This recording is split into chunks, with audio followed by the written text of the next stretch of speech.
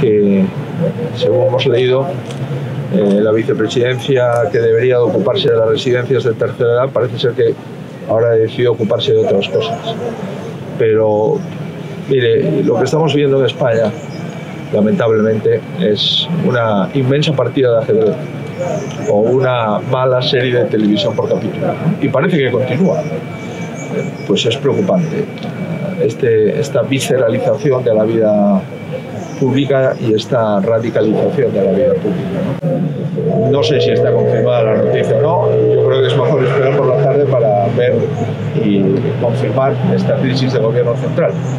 Tres mociones de censura investigadas por el gobierno de España la misma mañana y ahora, según ustedes informan, parece ser que el vicepresidente, el segundo del gobierno y uno de los líderes de Podemos abandona el gobierno. No sé si de forma unilateral o, porque le ha invitado el presidente a abandonar el gobierno. Y parece ser que hay que tensionar todavía más la vida política de la Comunidad Autónoma de Madrid. En fin, yo creo que esto es la antipolítica.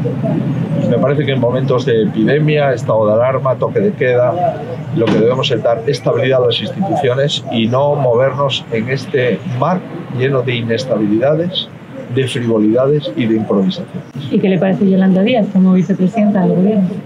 Eso ya está confirmado también. Lo propone en el vídeo ah, de Pablo Ah, bueno, eh, ahora las propuestas se hacen por vídeo y comprometen al presidente del gobierno. No lo sé. Lo que le puedo asegurar es que por mí que no quede. ¿Y qué lectura electoral cree que va a tener la decisión de Pablo Iglesias o qué resultado en la comunidad? Vamos a ver.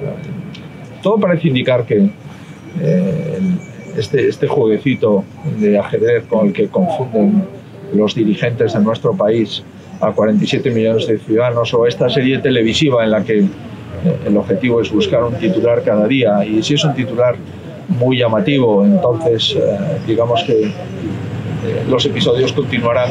Ahora más que nunca en Madrid hay una posibilidad para que no gobierne el populismo en sentido estricto, el populismo en las más continuas e intensas de sus esencias, junto con un socialismo a la deriva, ¿no? Y ahora, más que nunca, los ciudadanos tienen la oportunidad de impedir.